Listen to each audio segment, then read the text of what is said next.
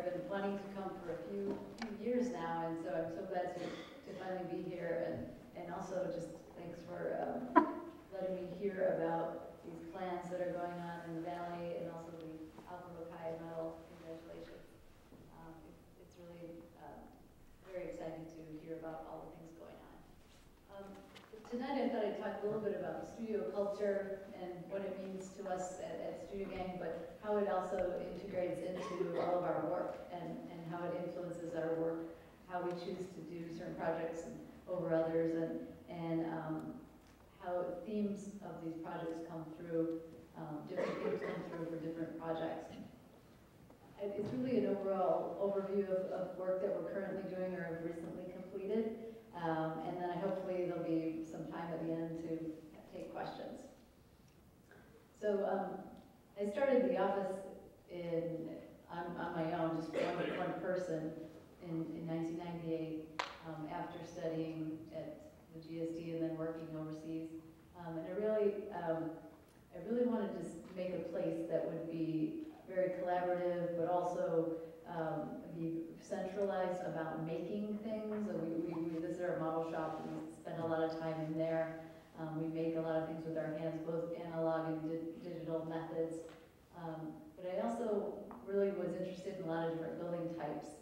Um, I thought that the practices that I had worked in when I was a student were really, um, there were a lot of hierarchies that, that made it not possible to explore the best ideas, I felt. And so in our, in our practice, we try to, uh, to promote a culture of where it's open and where there's no information held from other people. So it's really about pulling out the best ideas, which could come from the person that's the first day on their job or, or someone who's been there a long time. And, and also to build that culture, we started to um, realize as we grew, we're now, you know, bigger office, that we had to make time for each other. So we, we also have these like camps that we go to every summer. It's, it's a, like a creative camp where we make things. Here we were making drums for a drum circle, but we have artists come in and, and various leaders and thought leaders come in and, and participate with us. So it's in, in, a way, it's kind of like building this culture, making it work for a larger scale office. Um, and so it's very different than the places I worked at actually as an intern. Um, and it just, it really comes out of the, the collaboration and the collective of who happens to be in the office at the time. Um, so we're currently working on some interesting things like starting a bee colony on our roof and, and um, um, doing a lot of different types of things that, that, that, bring us together in various ways. So we are in New York now, 20 people there, and we have our um, home base in Chicago of 80 people in the former Polish National Alliance building that we recently moved into. So I think part of being an architect is also designing how you want your practice to be. You know, some people teach and, and practice at the same time. Some people focus in on a certain typology. Um, for us, it, it really is a lot also about the organization itself. How can it uh, grow and thrive? So earlier today, we were talking with some, students, and I was explaining this org diagram that, that we came up with in the office that, that's kind of a, a pyramid upside down. It's more like a tree. And, and the idea there is that as people grow and advance their experience, they also support other people, like branches supporting smaller branches, and new people coming in are like leaves that bring in new ideas and, and uh, bring life to the tree. And the roots are really the values. I guess I'm the trunk, really, right there, the trunk of the tree. Um, but trees can live, you know, without using their full entire trunk as well. Um, so it really worked for us as, a, as an idea of a new kind of organization that would grow organically, but have order and, and, and a chance to, um, you know, do more as, as you advance. So the, there's also this other aspect that is really about research. Um, a lot of the projects start with research. It, this is a book that we, we completed that was supported by the Natural Resources Defense Council to study um, the future of Chicago's waterways. And, and we are really doing this in order to bring out some information that, that we felt existed through engineering and through policy, but no one was really giving it um, visuals that the public could understand. And it was like kind of all leading up to um, some policy uh, decisions that the city was facing. So in a way, it's a lot like what the architects we just heard about um, did um, 50 years ago, in- envisioning this future for the valley. Um, In the Chicago area, there's, there's a lot of this swampy um, outer areas, like this one in the picture, that are, are really um, post-industrial landscapes, and, and that has always triggered the imagination. They're, they're very, in, in a way, vibrant habitats, but also very degraded landscapes. And, and in Chicago, the, these waterways have lots of problems, like pollution, um, um, infrastructure that can't support even in a half inch of rain when it falls, we have flooded basements. And also these threats, like the invasive carp species coming up the Mississippi River threatening to get into the Great Lakes. It doesn't really sound like architecture on, on the, on, on the outside, but, it, there's also this, this kind of huge potential of a post-industrial landscape, like in the lower left-hand um, image, where there's an area that's really ready to be re-envisioned as industry moves out, how can this start to um, help Chicago move forward? And so um, these waterways are, are inhabited by people, and one of the things about our practice we've really honed is an ability to connect with people. I think a lot of times architects were kind of shy sometimes, and, and it's hard to go out and engage. But we found that doing this and, and honing that skill of engaging people is not something to be feared, but it's actually really um, bringing fuel into our work, bringing us um, ideas. And so this area that used to be post-industrial, we were helping people realize that it could one day um, be um, a place where water that is used could be captured, cleaned, and returned to the lake. There's actually like about two billion gallons a day that are used out of the lakes just for diluting sewage and then sending it downstream down to the um, down to the Gulf of Mexico. So um, so that was a hundred years ago that they reversed the river, um, but now you know given environmental condition, it's not really appropriate to be doing it the same way. So how can we get back to um, the right solution for now? And so in our book, we highlighted these 10 different ways that you would have to go through to ultimately, um, to ultimately like re-establish this uh, watershed divide between uh, the Great Lakes and the, the glacial water that is there and the, and the, the rivers that ultimately go into the Mississippi and down to the Gulf. But what was really interesting was uh, in doing this research and trying to provide this framework for thinking of the river, we realized that the most important thing would be like what we do today. And, and that was the idea of um, giving people access to this waterway that was a post-industrial landscape. Um, and so we had that as step number one. What was really interesting was that um, as time went by, and it wasn't luckily 50 years or 100 years, but in like five years, um, the mayor of, new mayor of Chicago came in and said, I want to make the river the new um, recreational frontier for Chicago.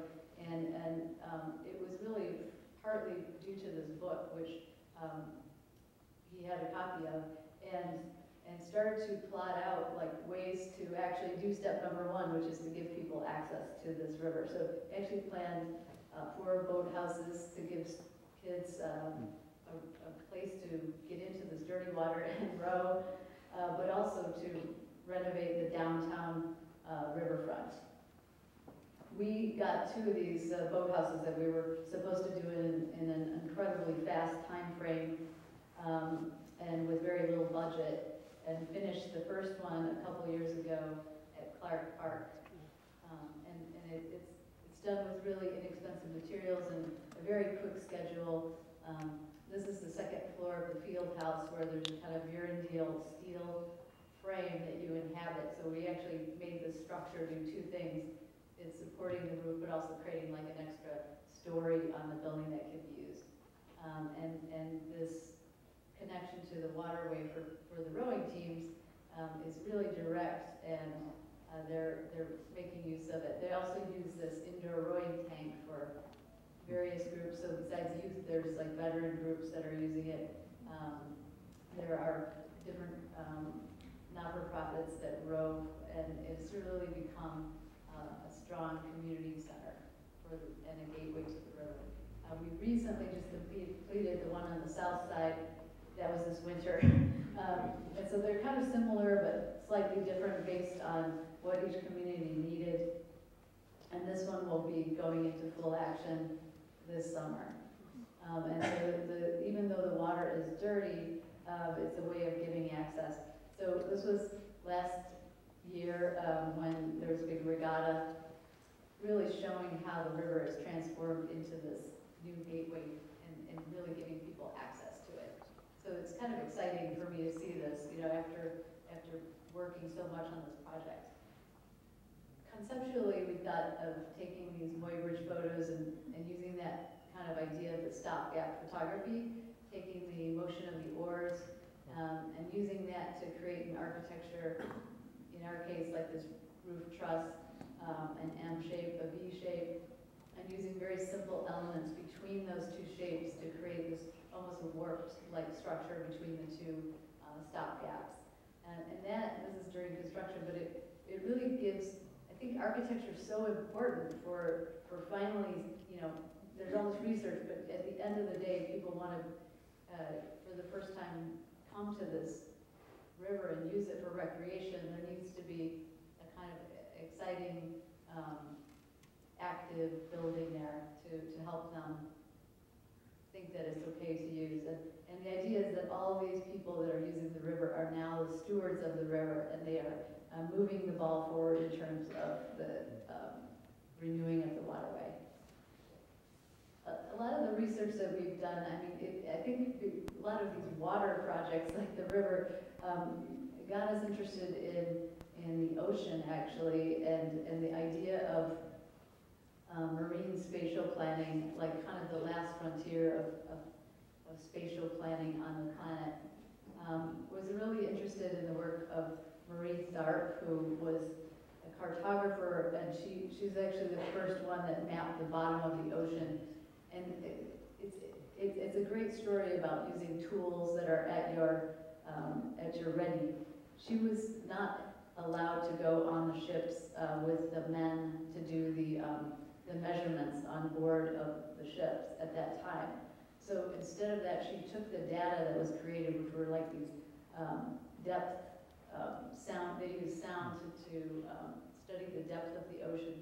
And she took that data and turned it into like a three-dimensional map. And, and the findings were very controversial, actually, at the time. The map on the right shows that there is a whole, you know, landscape under there. Uh, they were highly doubted, but eventually proven to be true. Um, and so um, a lot of these early maps came from this use of data, use of research, but to create something that was useful for others.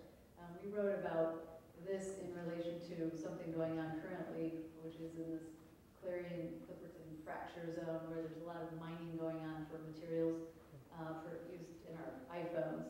And um, it's a very interesting, um, very hotly debated area that you probably never heard of. Uh, but but um, it's interesting that the map in this case is used to obscure the, the reality of the size of this mining operation. Um, so we, we wrote about that. And there's, there's a lot of data being collected in the ocean currently, just like there is in the cities. We're kind of interested in how these uh, layers of information come together to help us reimagine how to use the ocean. That work that we wrote about, and that was included in the Avery review recently in Climate's book. Um, so being environmentalist, like at my core, I, I, um, I started to realize that, you know, we weren't making very much headway with that, those arguments. Um, and they really have to connect back to people to, to, you know, to, to move them forward. We have to get people to, um, embrace these ideas and, and feel like they're part of their, their ideas that impact their lives. So, um, through, um, some of our work, we've been starting to work more directly with communities and to, um, to help people form relationships between each other and their environment. So one of the things that's always inspired um, me- has been the study of ecology. And ecology is very special. It's not about studying individual species on their own. It's really about um, studying the relationship between species and the relationship between these species and their environment. That is like the perfect metaphor for what architecture can do.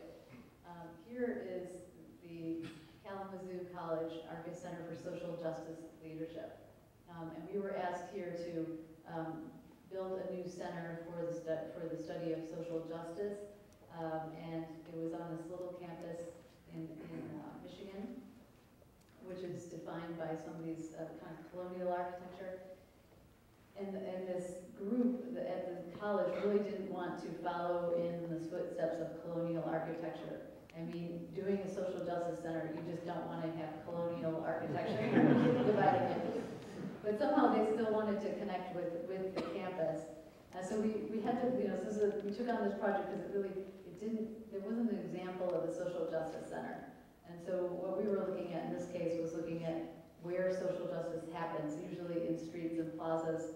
Um, and we didn't really have a, a building type that re- represented it. So we looked at places where this planning happened, or so community meeting houses, which are places where, uh, around the globe where people get together and um, have serious talks about what to do.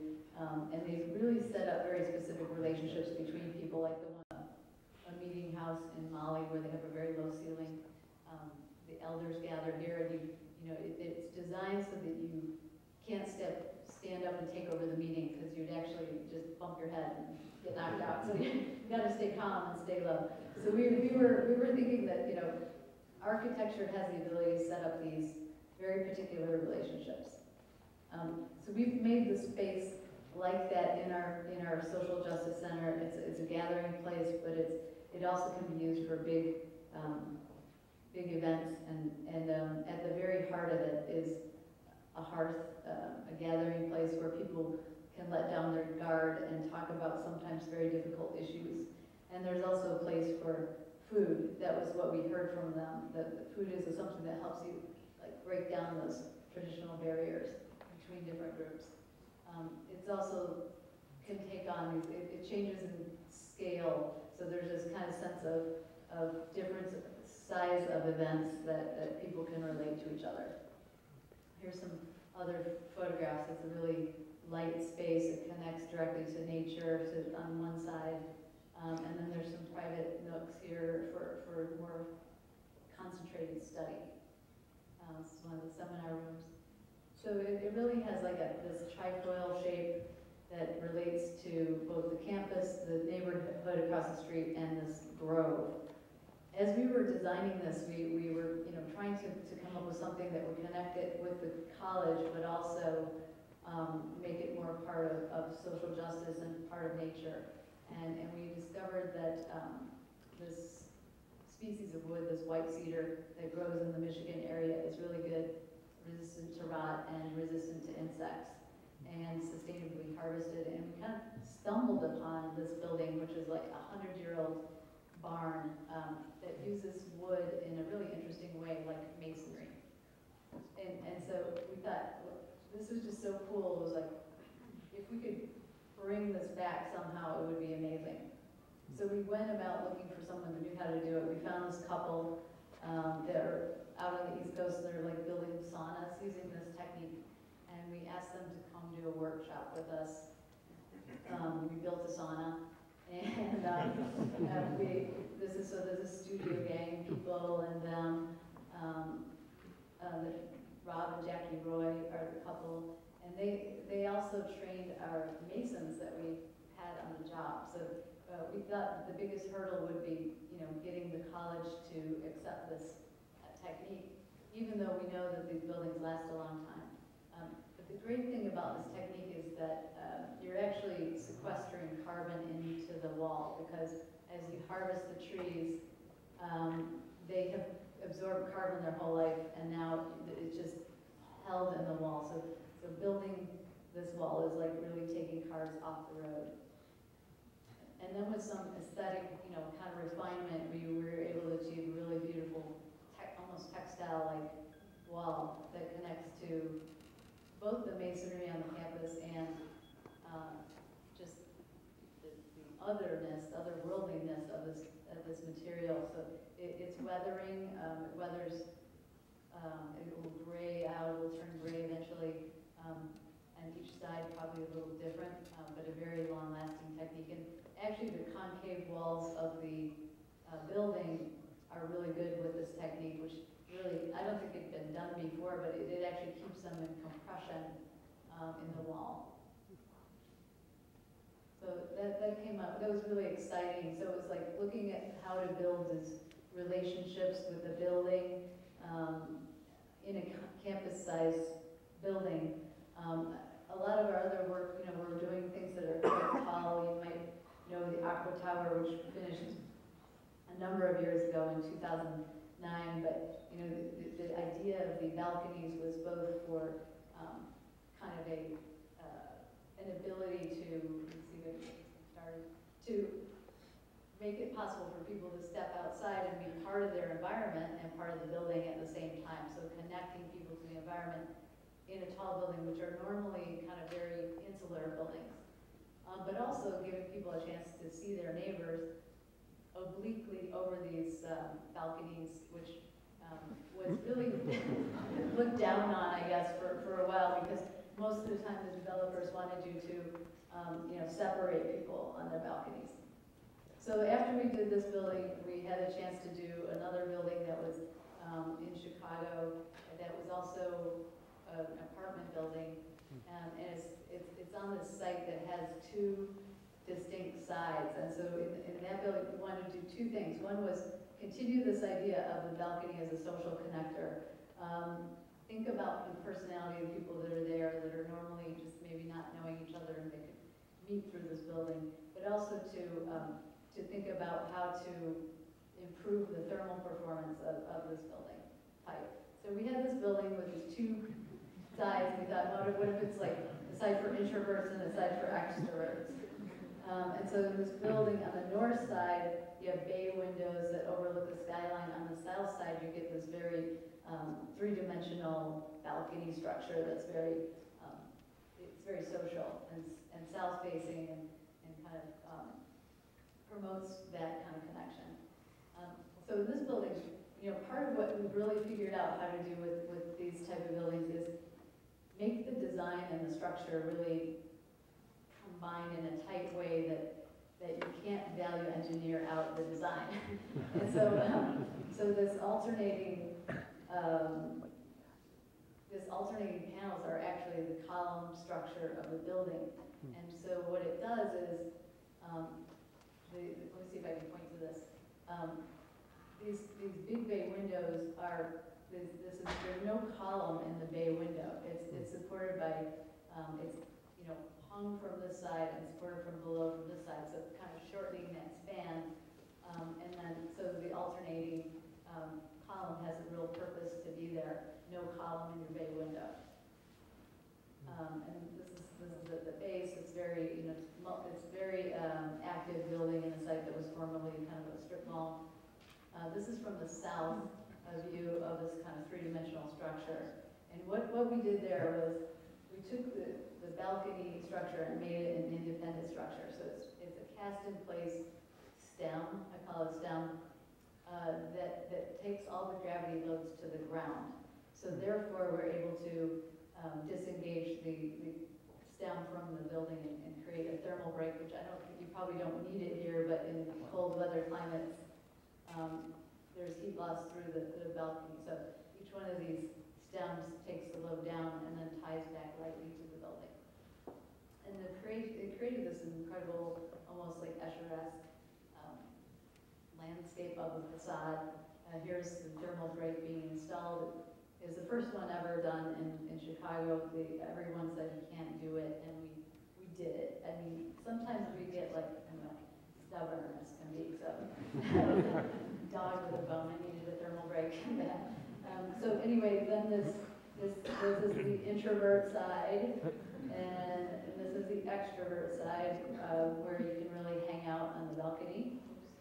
Um, um, and really get this, like, kind of oblique oblique view is not, you can't see into someone else's apartment, but you can really be in this three-dimensional space.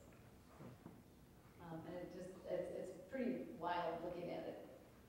Um, and so, so that was just kind of an ordinary workaday kind of apartment that had affordable units in it. Um, and it was uh, stalled during the, the downturn in two thousand eight, and then it came back alive again. And we built it really quickly, um, not a very high budget, but it, it's really been successful in terms of a, a, a building like this. The reason why I think they're important is, you know, the- these residential buildings are the DNA of a city, you know, and if, if we can bring design into those, you know, then we can really start to infect the city. Um, I wanted to show this project because we just finished it last fall. It's, it's the, um, University of Chicago Residence Hall, it's an eight hundred bed residence hall and dining commons at the University of Chicago. And this one has like these different scales of community built within it.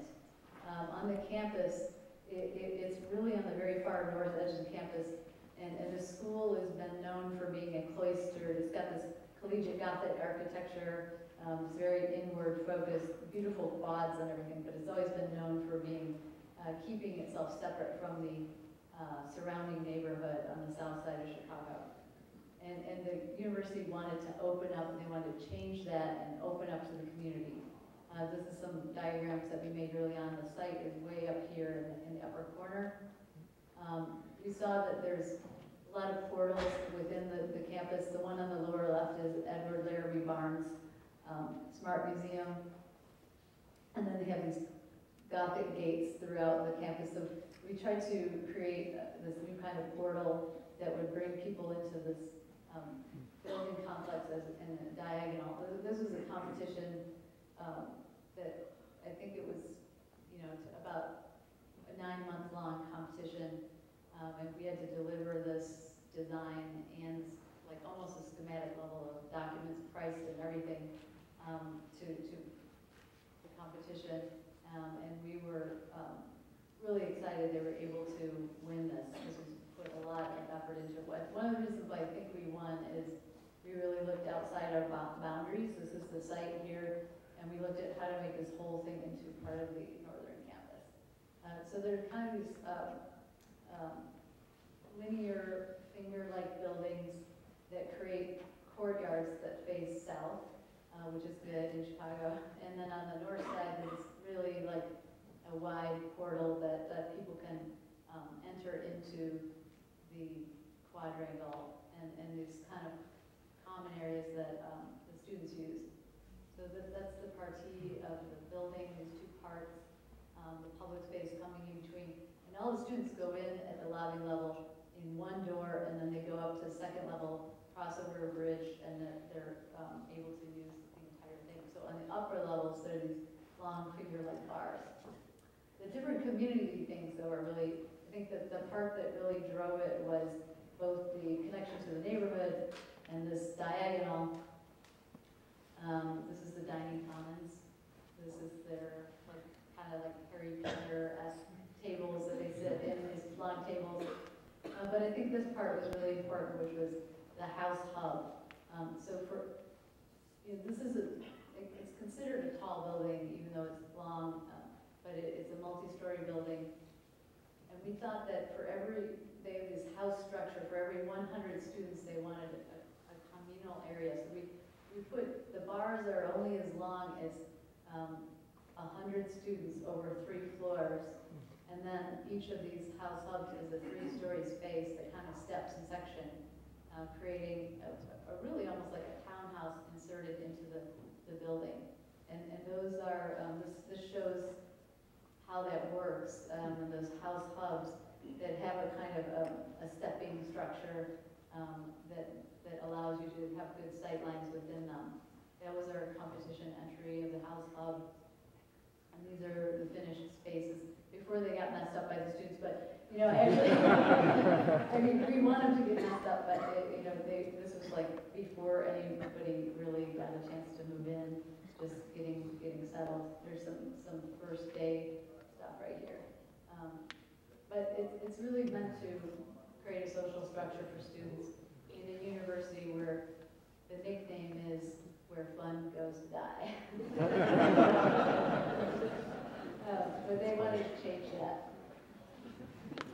The, the, um, the panels on the outside, so this was design build and it was done in a very quick schedule, but these, these, it has a very high performance facade with a lot of thermal insulation and then this ability for people to tune their own space and, and get hundred percent fresh air through these, um, opening windows and screens. Um, and these precast panels that are, oops, that are very, um, kind of connected to the collegiate gallery, but not really replicating it in any way. So really excited about that project.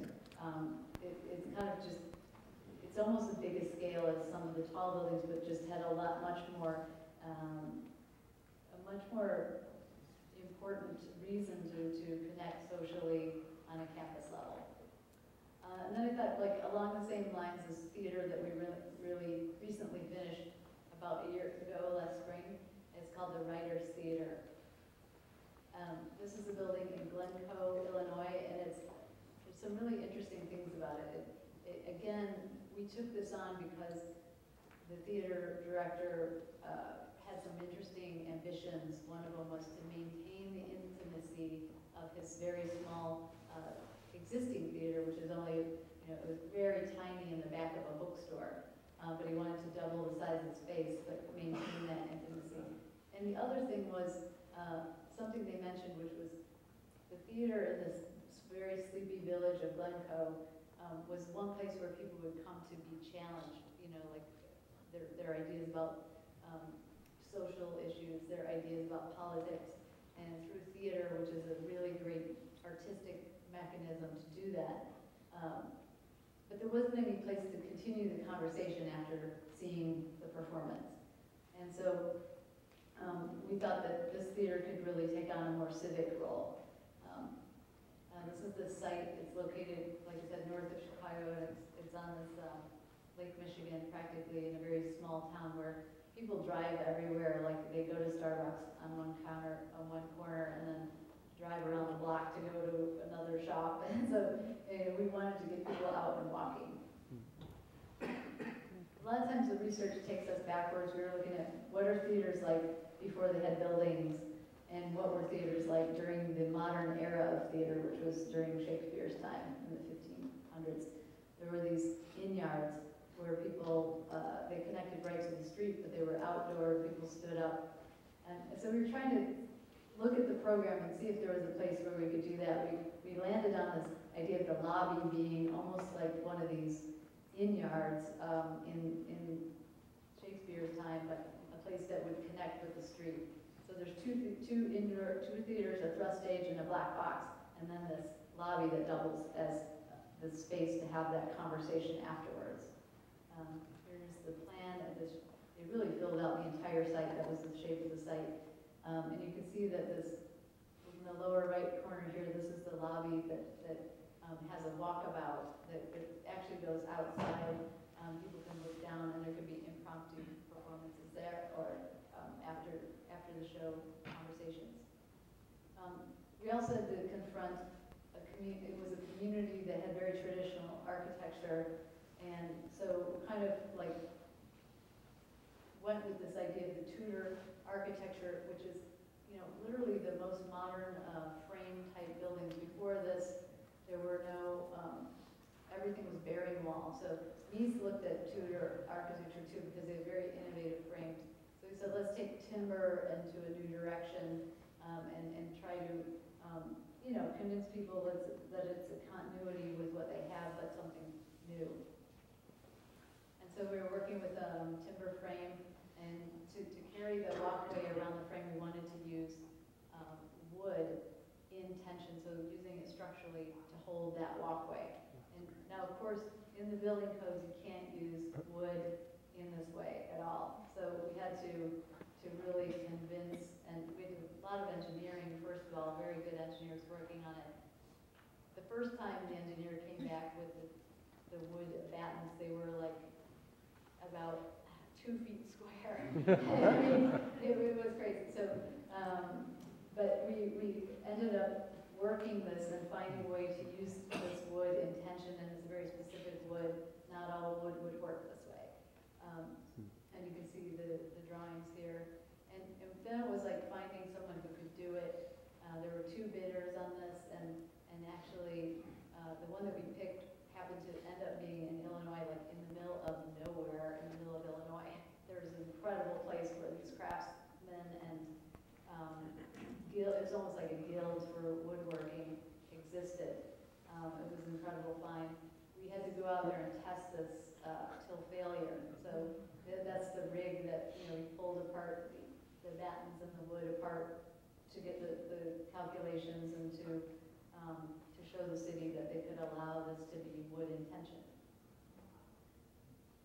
Um, these are some of the details, and, you know, there were, this is the, the, what we call the cat's paw, which is the way to create the, the knuckle piece that, that allows the, the battens to hang.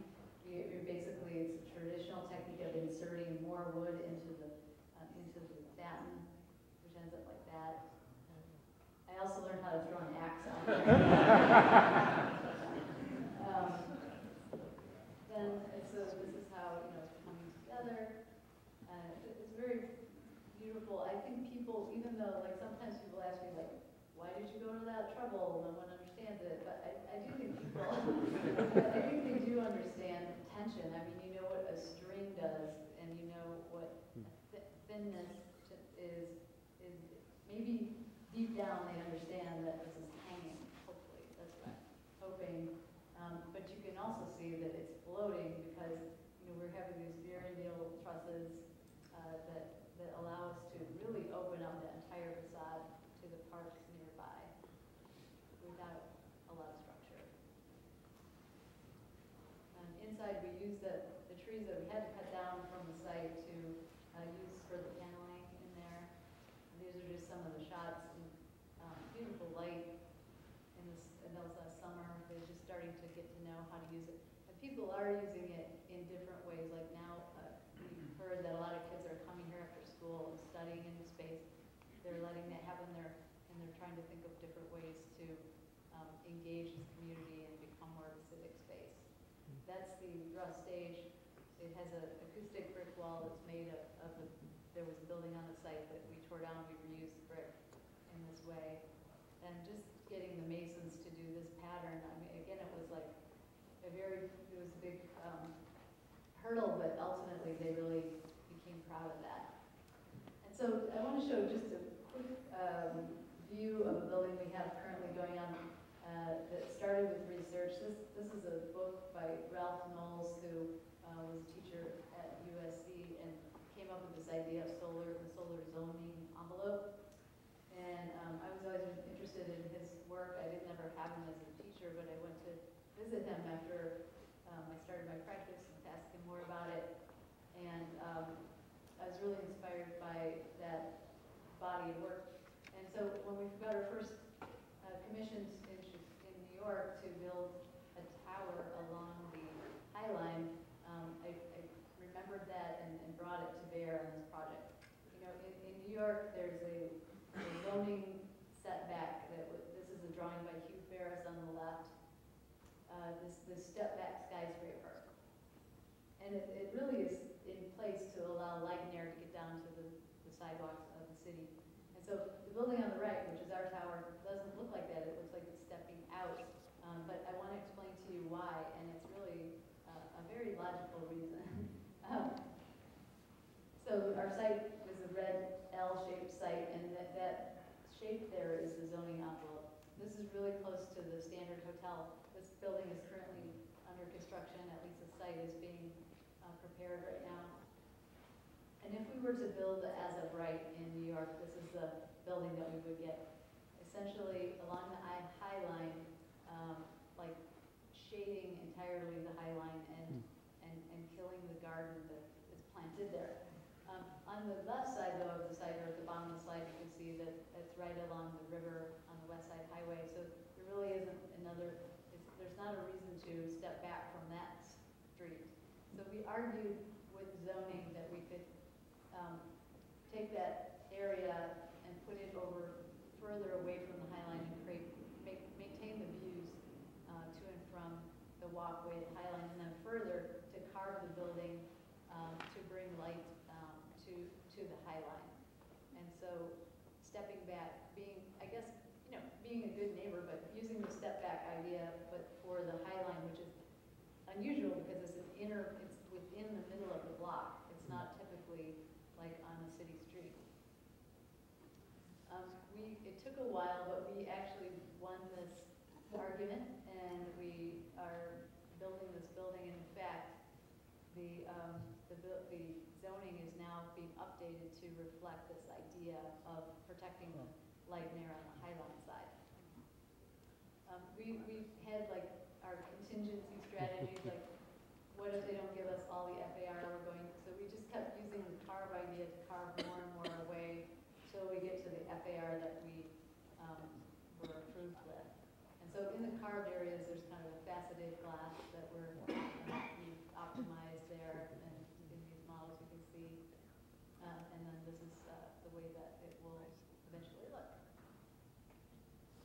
So the last two things I want to show is, is just that, um, another research project is kind of becoming more real, and called the Polis Station, and um, a little bit about the projects under construction. As we started the practice in New York, we were also, um, we got a commission to design a, a rescue, fire rescue station, which eh, there's one in each of the boroughs. And what happens at those rescue stations, it's not a fire station, but it's a rescue um, station. They, they focus on rescuing um, other firefighters that are caught or people who are trapped. Um, And, and when we were doing that project, which is in Brownsville, we noticed that the, the fire station is really a place where um, there's a a strong connection between the community and, and the rescue workers. And there's also like a very strong relationship between the rescue workers themselves and each other. They have like strong bonds. Uh, they, they live together and make food together again. And uh, so they, they have a very healthy and a very high uh, job approval rating. Whereas um, with police, over the last couple of years, uh, leading up to when we did this project, there's more and more strained relationships, um, violence between police and community members, and vice versa, and and, and really a, a, a situation that is a not acceptable situation between uh, police and community members, and a fear of police in many neighborhoods. Um, and, and just like the police station itself, just being a- usually like a fortress that you don't even want to go anywhere near. So about that time, this report came out that was about like how to reform police force into a 21st century community policing. And there, there was uh, six pillars that were mentioned as ways to work on building these relationships between police and community members.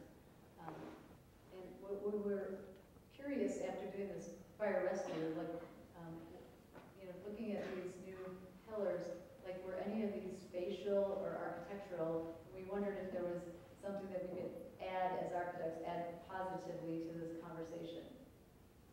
So um, and this was kind of like a, a, one of these research projects without a client at all. It was just a, um, something that we felt that we needed to address. Um, we looked at the history of police. Police policing is a very strange um, institution. It's, it's different in different parts of the country.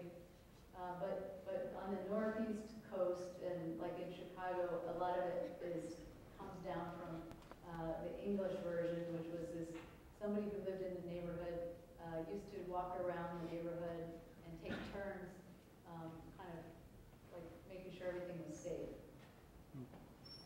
Um, and it transformed it, there was never a building associated with it, it was usually like these call boxes. Um, and, and everybody was on the beat, walking around on foot. Um, and so we found that like these, that, that created a real, you know, a sense of familiarity with the police because they were actually from there. Um, and it was really for the purpose of, of safety. And so it, as time went on and we introduced car into policing, this space um, became wider and wider. Like this um, station started to become like a fortress, surrounded by parking and big roads, um, and further separating from the community. And the fact that uh, the police no longer lived in the communities that they were policing anymore. So all of that led to this like very difficult relationship and, and no sense of trust whatsoever between uh, the police and the community member that they are policing. And so um, we, this is part of our research that we did, looking at the, the the way that policing policy just continues to change over time. But at the end of the day, there's a building, you know, and it can be a fortress or it could be something else. So we took an example in North Lawndale, a community in Chicago that has um, had problems of violence, and we looked at the Chicago police stations, they're all done as these prototypes. Um, And this one particular is surrounded by a lot of parking. Um, And we, we decided to engage the community and the police together in the same meeting and ask them what they thought would be a good solution to build trust.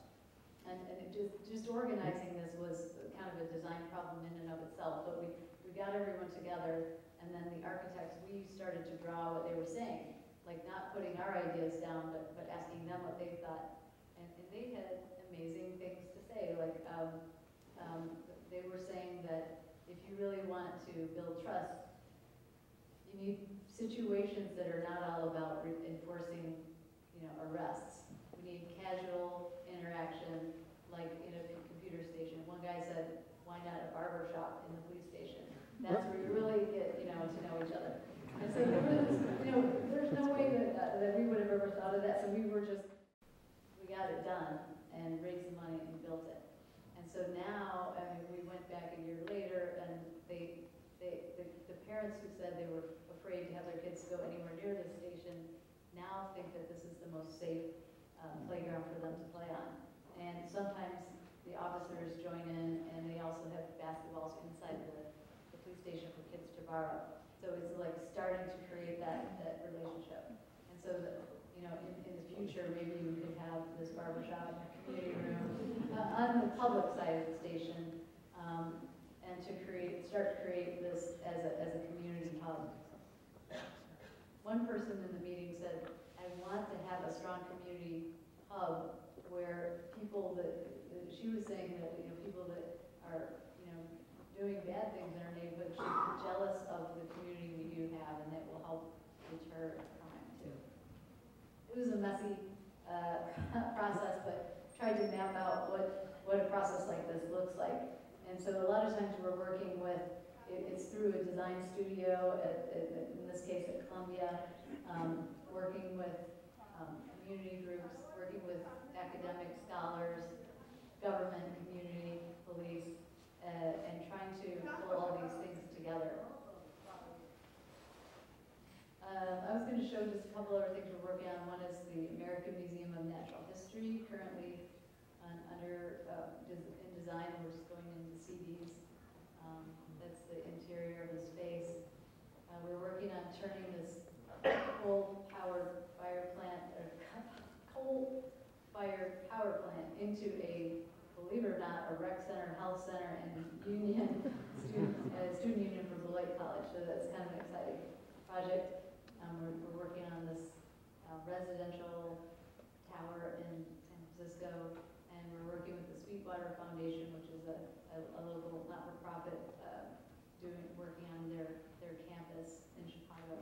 And finally, just because I'm, I'm kind of excited that this is underway, I just want to show you one of very tall buildings we're doing, which is called the Vista Tower.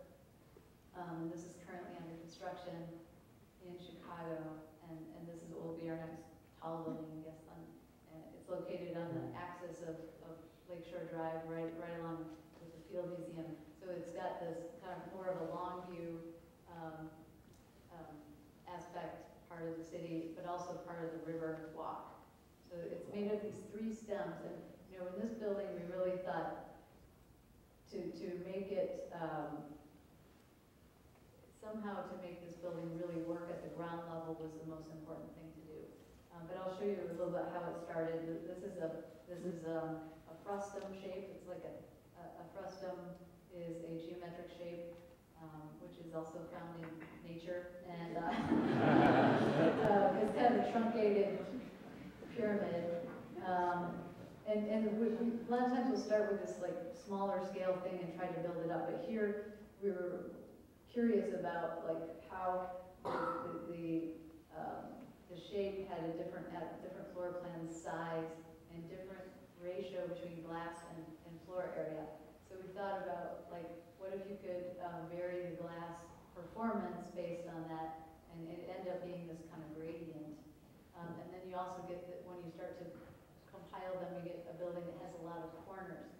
But the most important thing, like I was saying, is these three stems. The middle one, the cores are on the outer stems, and the middle one can be lifted up to allow public access right below the building, kind of like here, um, to make it super public and connected to the, to the river.